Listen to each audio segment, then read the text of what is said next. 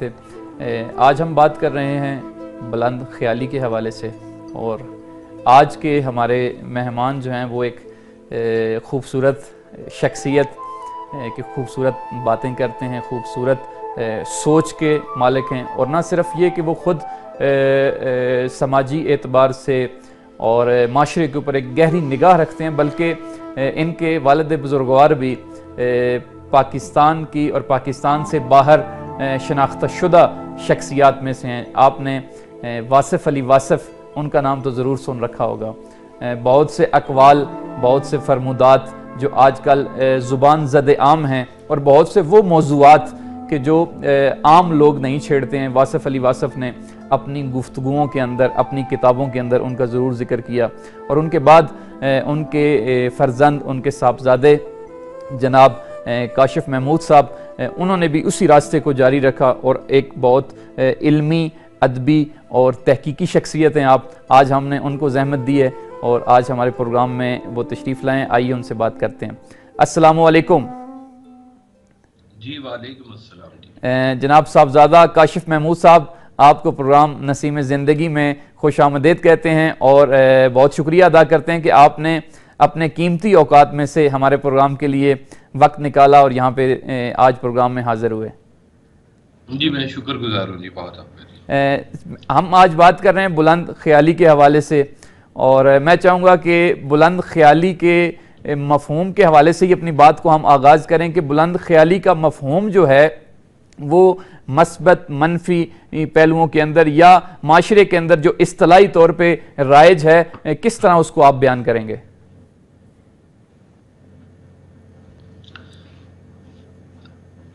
जी मैं इस पे कुछ थोड़ी सी रोशनी में डालना चाहूँगा जी जी। कि जब आप बुलंद ख्याली का जब आप तस्करा करते हैं ना तो ये अरफा ख्याली इसको कहते हैं इसको रिफत ख्याल भी कहा जाता है।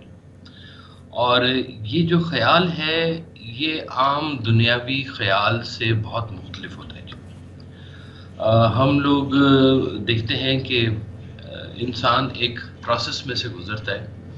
कि अल्लाह ताला ने हर इंसान को एक मिजाज के साथ पैदा किया। और वो मिजाज जो है, वो मिजाज एक ख्याल पैदा करता है। उस ख्याल में से फिर इंसान कुछ ख्याल फ़िल्टर करता है और वो, उनमें से कुछ ख्याल जो है, वो अमल में आ जाते हैं। अब जो अमल में आते हैं, वो फिर एक नतीजा पैदा करते हैं। वो नतीजा जो है, उस ख्याल को ज़ाहिर कर रहा होता है कि ये ख्याल जो था, ये मनफी ख्याल था, ये मुस्बत ख्याल था।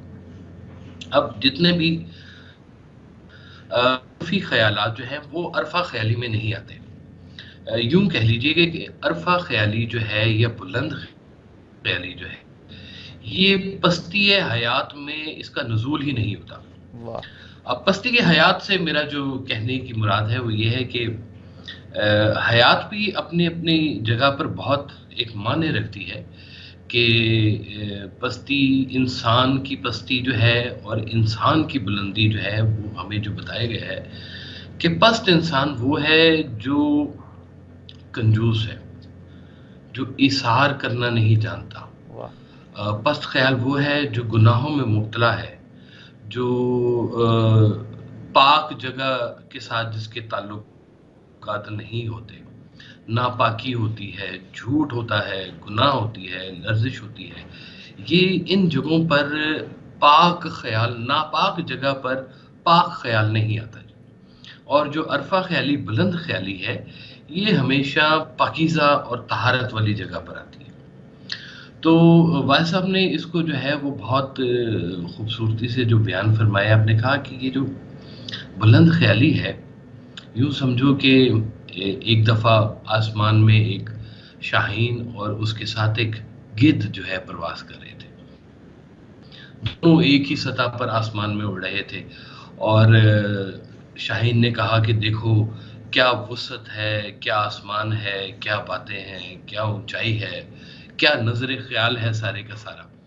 तो गिद्ध कह रहा था हाँ बहुत ऊँची परवाज है बहुत अच्छी परवाज है और इतने में गिद्ध को नीचे मुर्दार नज़र आया और उसने कहा कि भाई तुम अपनी बुलंद ख्याली अपने पास रखो, मुझे तो मुर्दार नज़र आ गया मैं तो जा रहा हूँ खाने के लिए। तो ये जो बुलंद ख्याली है, ये ये मुर्दार चीज़ों के साथ नहीं मुंसलिक होती।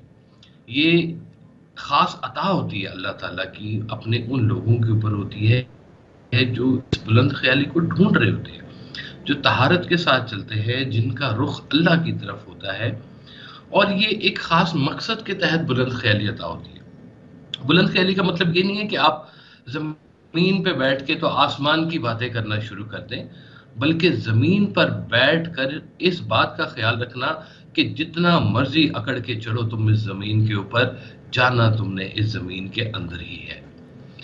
तो ये इस बात का जो ख्याल रखते हैं लोग, उनका एक ख़ास तरह से तस्किया हो गया होता है। उनकी ज़ात के अंदर जो है एक तरह की जितनी भी नेगेटिव थाट्स होती हैं, वो निकल गई होती हैं। ये जो तस्किया है लफ्स ये भी अपनी जगह पे बहुत माने रहता है। और ये माँ बाप का ख्याल है।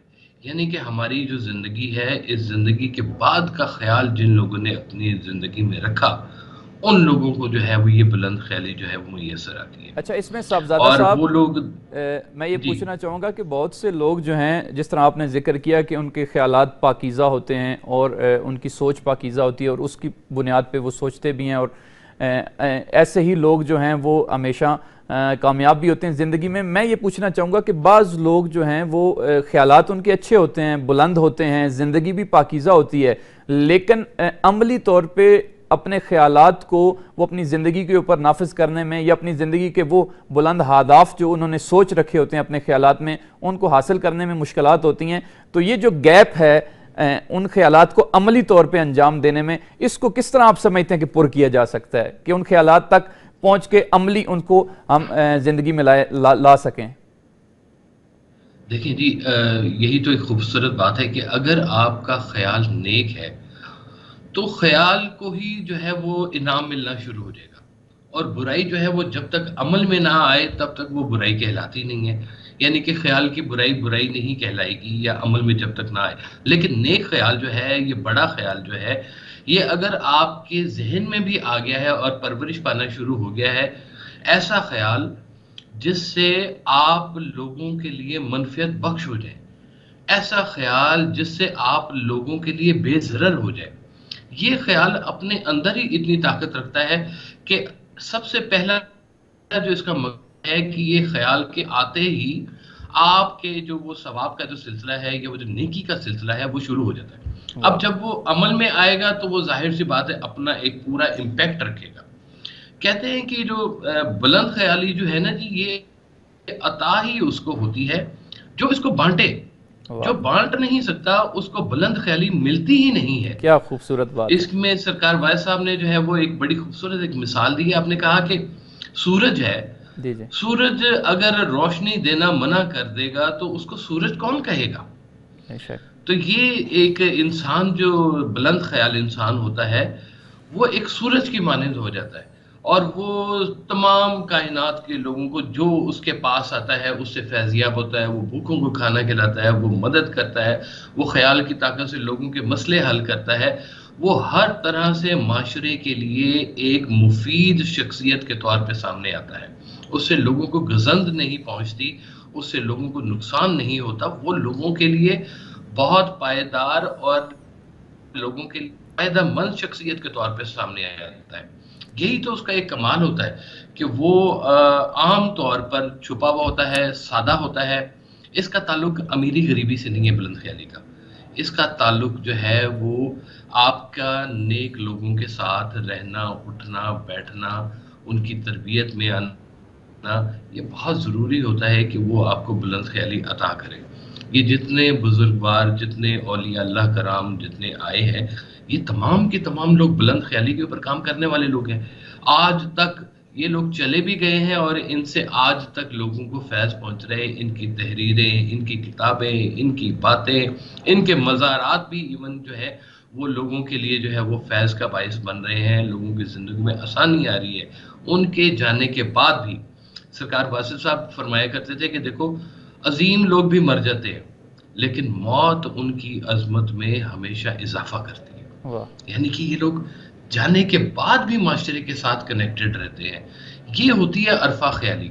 और जो दूसरी इसके अलावा वाली चीज़ें वो चीज़ों में लोग फंसे हुए हैं। उनको ख्वाहिशात ने जकड़ा हुआ है।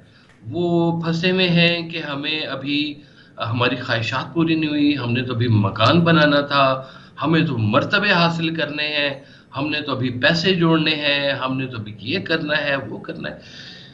आगे चलने से कोई नहीं रोक रहा। अच्छा इसमें मेरे जहन में एक और सवाल आ रहा है साहबजादा साहब कि बुनियादी तौर पे फलसफियाना सा सवाल है कि जो। खुद ख्यालात हैं ख्यालात के जन्म लेने के अंदर क्या इंसान का मुशाहिदा है जिसकी वजह से उसके जहन के अंदर अच्छे या बुरे ख्यालात जन्म लेते हैं या ये एक इस्तकराई अमल है या ख्यालात को जन्म लेने के अंदर इंसान इंसान के इतराफ़ की किन चीज़ों का अमल दखल है कि वो इंसान के ख्यालात को जन्म देती हैं? जी, बहुत सारी चीज़ें जी, इंसान के ख्याल को जन्म देती हैं। इंसान जिन हालात वाक़ात वसाइल, मसाइल के अंदर पैदा होता है, जिनके अंदर वो रह रहा होता है, उसके ख्याल जो है वो उसी के साथ ही बाजुकत मुंसलिक होते हैं। तभी तो कहते हैं कि आप किसी बड़े ख्याल वाले के पास सिर्फ़ जाके बैठना भी शुरू कर दो तो कुछ ना कुछ बारिश का कतरा आपके ऊपर भी पड़ जाएगा। आपको भी वो किरण मिल जाएगी, रोशनी मिल जाएगी।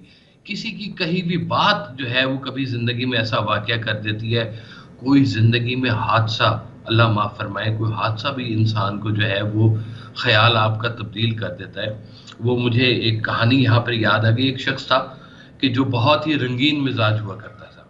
और वो रंगीन मिजाजी में बहुत मशहूर था। तो कुछ अरसे के बाद लोगों ने देखा कि वो उसकी तो कैफियत बदल गई है, वो तो नमाज़ पढ़ना शुरू हो गया है, वो बहुत धीमा हो गया है और नेक काम करता हुआ नज़र आ रहा है। तो लोगों ने बहुत हैरान होकर से पूछा कि भाई, तुम तो बहुत रंगीन मिजाज हुआ करते थे। ये तुम्हारे साथ क्या हुआ? उसने कहा, जी, मुझे मेरा गुरु मिल गया। तो लोगों ने कहा, कौन है तुम्हारा गुरु? तो उसने कहा, जी, मेरे घर में बेटी पैदा हो गई है। तो अब वो बेटी की पैदाइश से उसका पूरे ख्याल का जो सिलसिला था वो तब्दील हो गया। कि उसको लोगों के अंदर या माशरे के अंदर बेटी का मकाम, बेटी की जगह, बेटी की इज़्ज़त, वो नज़र आनी शुरू हो गई। और उसने कहा कि ये मैं अपने ऊपर एक तब्दीली लेके आता हूँ। तो ऐसे वाकयात भी इंसान के साथ होते हैं कि जो उसके ख्याल को तब्दील कर देते हैं। और कुछ मिजाज भी होते हैं, जो बचपन से ही किसी बड़े मिजाज को लेके पैदा होते हैं। अल्लाह ताला ने इन लोगों से कोई ख़ास काम लेना होता है। वो चाहे पस्तियों में रहें फ़िरौन के घर में पलने वाले हज़रत मूसा सलाम बिल्कुल और ख्याल के थे।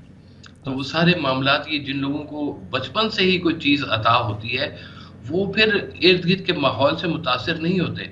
उनकी परवरिश की ज़िम्मेदारी कुछ और तरह से होती है। लेकिन मैं जब आम सतह पर, आम माशरे की जब मैं बात करता हूँ तो उसमें एक आपका टाइम होता है, जिस टाइम पे आप निगहदाश्त में होते हैं। आप परवरिश के मराहल में होते हैं माँ बाप आपके ऊपर होते हैं बहन भाई स्कूल इस आपके ऊपर होते हैं वो आपकी परवरिश कर रहे होते हैं आपके ख्याल को उजाल रहे होते हैं कोशिश करते हैं कि अच्छा ख्याल बने इसका नेक बच्चा बने हर माँ बाप की यह ख्वाहिश होती है। लेकिन फिर एक टाइम आता है कि जब आपका ख्याल इधर उधर गौर करना शुरू करता है आपको मनफी चीज़ें भी नज़र आती हैं आपको मुस्बत चीज़ें भी नज़र आती तब ये वो जगह होती है जहाँ पर आ, आपका तस्किया आपके इर्द गिर्द के लोग आपके बुजुर्गवार कहते हैं कि अगर कभी सवाल फंसा हुआ हो और कमरे इम्तहान में आपको उस्ताद का चेहरे याद आए तो सवाल हल हो जाता है। तो ये भी एक तासीर होती है वालदेन की बुज़ुर्गों की कि वो आपको जो है वो बुरे ख्याल को अमल में लाने से रोक देती है। जी बहुत बहुत शुक्रिया साहबजादा तो काशिफ साहब आपका कि आपने अपने कीमती अवकात में से वक्त निकाला हमारे प्रोग्राम के लिए और ख्वाहिश करते हैं कि आइंदा भी इन आप हमारे प्रोग्राम में शरीक होते रहेंगे। अपना ढेर सारा ख्याल रखिएगा। खुदा हाफिज़। जी अल्लाह जी नाजरीन साहबजादा काशिफ महमूद जो कि वासिफ़ अली वासिफ़ एक मरूफ राइटर हैं, उनके फ़र्जंद थे और आप ख़ुद भी, साहबजादा साहब भी एक ख़ास नज़र रखते हैं और इल्मी तहकीकी मैदान में इनका एक नाम है। आज हमारे साथ मौजूद थे और बुलंद ख्याली के हवाले से वो बात कर रहे थे मुख्तलिफ़ जाविया निगाह से। आपने वो अलफ़ लैला के किस्से में बगदाद के बूढ़े हमाल का वाक़ तो ज़रूर पड़ा होगा। वाक़ कुछ यूँ है कि बगदाद का ये बूढ़ा हमाल शीशे के बर्तन बेचता था। और इसने शीशे के बर्तनों की टोकरी अपने सर के ऊपर रखी हुई और जा रहा था तो नदी के किनारे ये एक दरख्त के साय में बैठ गया और टोकरी इसने अपने करीब रखी और नीम दराज हो के बल्कि लेट गया और ताकि वहाँ पे सस्ता सके थोड़ा सा आराम कर ले। तो बातों ही बातों में ख्यालों ही ख्यालों में इसने क्या किया कि सोचने लग पड़ा, कहता है कि ये जो शीशे के बर्तन हैं, इनको मैं बेचूँगा तो मेरे पास जो है वो पैसे आ जाएँगे। जब मेरे पास पैसे आएँगे तो मैं उन पैसों से दो बकरियाँ खरीद लूँगा। और जब दो बकरियाँ खरीदूँगा तो कुछ अरसे के बाद वो बकरियाँ जो हैं वो बच्चे देंगी जोड़ा जोड़ा बच्चे देंगी। तो मेरा रेवड़ जो है वो बढ़ जाएगा। जब मेरा रेवड़ आहिस्ता आहिस्ता बढ़ जाएगा तो मैं इनकी तजारत शुरू कर दूँगा। जब मैं इनकी तजारत शुरू कर दूँगा तो मैं एक बड़ा ताजर बन जाऊँगा और अमीर आदमी बन जाऊँगा। जब मैं अमीर आदमी बन जाऊँगा तो फिर मैं एक बड़ा महल अपने लिए ख़रीदूँगा और मेरा नाम होगा पूरे इस मुल्क के अंदर और बाकी भी जो ममलकत में तजारत होती है, वहाँ भी आना जाना होगा। जब मैं इतना बड़ा आदमी बन जाऊँगा तो बादशाह अपनी बेटी का रिश्ता जो है ना, वो मुझसे करने के लिए मेरे पास कासत को भेजेगा और मुझसे तकाजा करेगा कि मैं उसकी बेटी के साथ शादी करूँ। जब मैं बादशाह की बेटी से शादी कर लूँगा तो एक दिन जो है वो मैं बादशाह की बेटी से, यानी जो उसकी जोजा उस वक्त होगी, उससे नाराज़ हो जाऊँगा। जब मैं उससे नाराज़ हो जाऊँगा तो वो मुझे मनाने के लिए मेरे पाँव के ऊपर अपना सर रख देगी और मुझे राज़ी करेगी। और जब वो मुझे राज़ी करेगी तो मैं उससे नहीं मान, उससे नहीं मानूँगा और बल्कि अपने पाँव के ज़रिए उसको ठोकर मारूँगा। जब मैं उसको ठोकर मारूँगा तो वो ठोकर पता नहीं बादशाह की बेटी को लगे या ना लगे, लेकिन उसकी ठोकर उसके शीशे के बर्तन वाली जो टोकरी थी उसको ज़रूर लगी और वो उसका टोकरा जो था, बर्तनों समेत साथ ही जो नदी थी, उसके अंदर बह जाता है।